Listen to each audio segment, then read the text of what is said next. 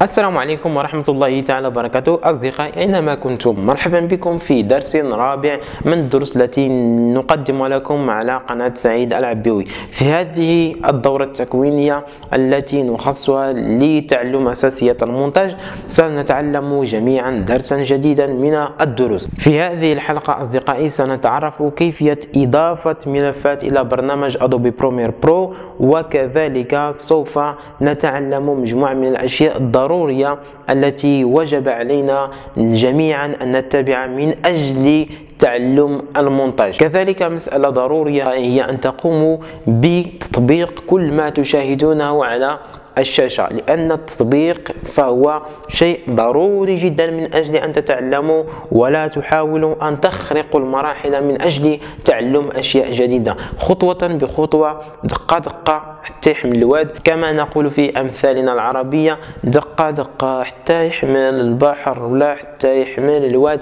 هذا شيء ضروري. وضروري جدا. نمر مباشرة إلى الشرح. إذا آه، بعد آه، فتح البرنامج أصدقائي تنبثق إلينا هذه النافذة. New Project Open Project New Team Project Open Team Project هنا آه، مجموعة من الملفات ولا project التي اشتغلت عليها في وقت سابق.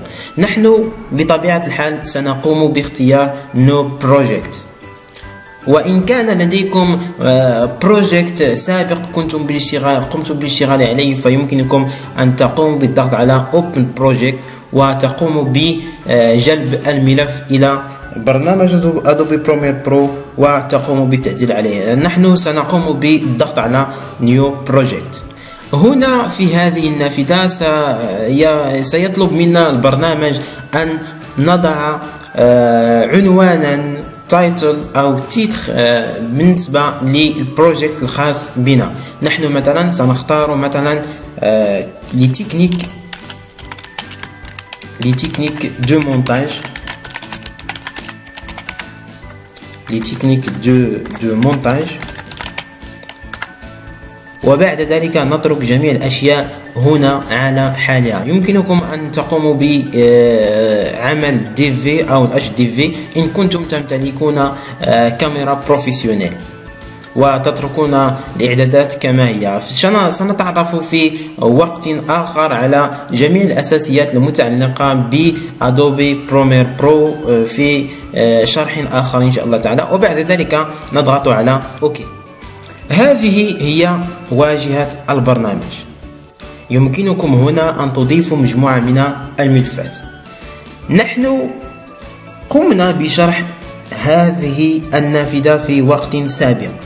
لذلك أدعوكم أصدقائي وصديقاتي وكل الناس الذين يتابعون آه، هذه الدورة بمتابعة جميع الدروس التي قمت مسبقا بوضعها على قناة سلسلة لقاء مع الموجة وقناة سعيد العبيوي حتى تتمكنوا من فهم جميع الأساسيات التي أتحدث عنها. ولا يجب أن نشاهد درسا ونترك درسا آخر لأن جميع الدروس فهي متناسقة. نقوم هنا بإضافة مجموعة من الملفات. إما أن نقوم هنا ب كما قلت لكم سابقا بفتح project خاص أو نتوجه مباشرة إلى ملف من الملفات ونقوم بسحب مجموعة من الفيديوهات أو الصور من أجل إضافتها إلى ال project الخاص بنا.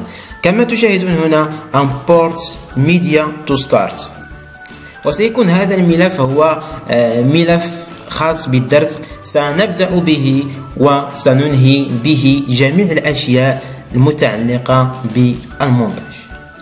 أنا سأختار بشكل عشوائي مجموعة من المقاطع لأن جميع جميع الفيديوهات التي ترونها فهي آه، ثمرة جهد لسنوات سنوات من العمل.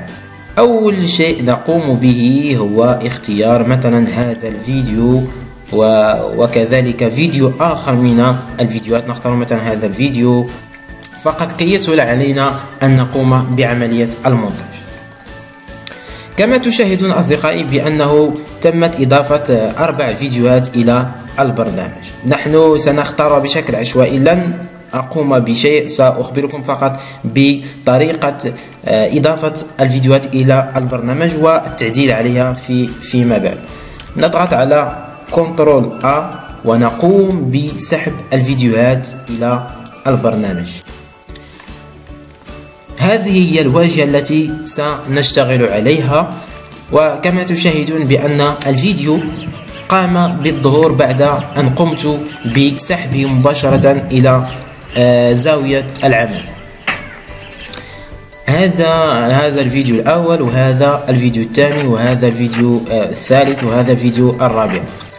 أنت كمحترف في المونتاج يمكنك أن تقوم بتنسيق كل هذه الفيديوهات وإضافة لمستك على الفيديوهات.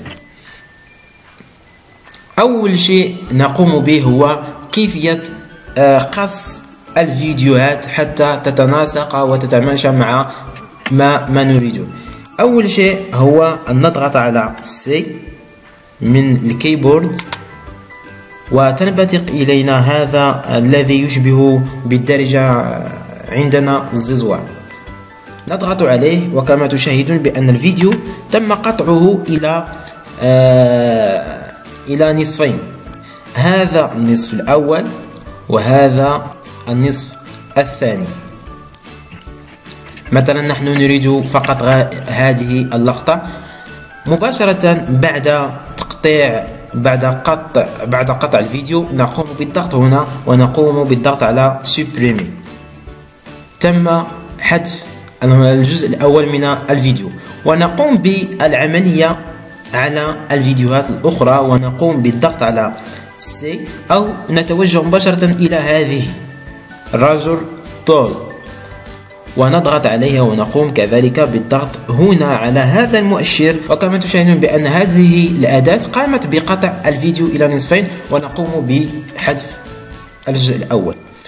نكرر العملية كذلك على الفيديو الثالث لأنني أجده طويلا شيئا ما. هنا مثلا هذا الفيديو آه، سنتركه على حالي لأنه صراحة يعجبني كثيرا هذا الضوء لأنني ترعرعت فيه. سأكتفي هنا وسأضيف هذه المقاطع. بعد إضافة هذه المقاطع نمر إلى خطوة أخرى من الخطوات المهمة وهي إضافة حركة للمقاطع الخاصة بهذه الفيديوهات. ما الذي نقوم به الآن؟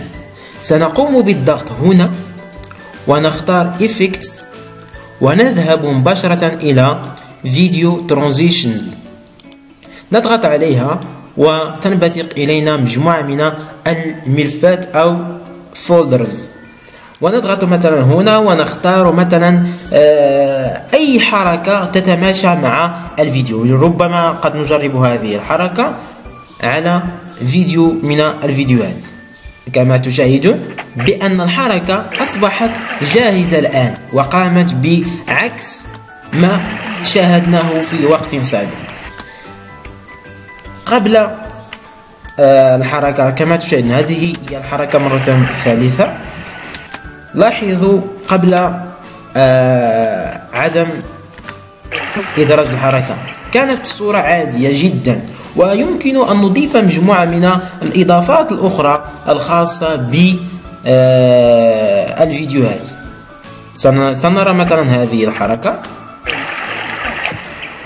كما تشاهدون تمت إضافة الحركة. سنختار مثلا زوم.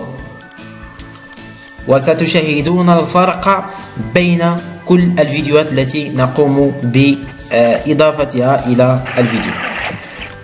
كما شاهدتم فقد تمت إضافة حركة أخرى إلى الفيديو. أصدقائي تنتمنى أنكم تكونوا استفدتوا من الدورة وتنتمنى كذلك باش أنكم تكونوا من ضمن دوك الناس اللي استطاعوا باش أنهم يفهموا أشياء جديدة بخصوص برنامج Adobe Premiere Pro نلتقي في دورة جديدة أو في درس آخر.